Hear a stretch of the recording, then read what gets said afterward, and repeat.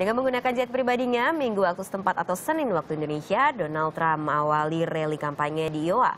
Kemudian terbang ke Minnesota, Michigan, dan juga Pennsylvania dan berakhir di Virginia.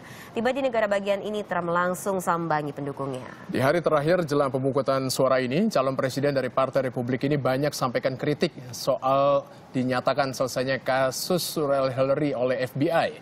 Trump sebut Hillary dilindungi oleh sistem yang sudah dikondisikan.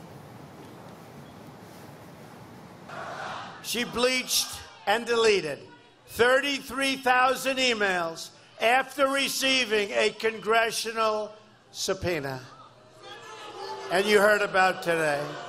You heard about today. But right now, she's being protected by a totally rigged system.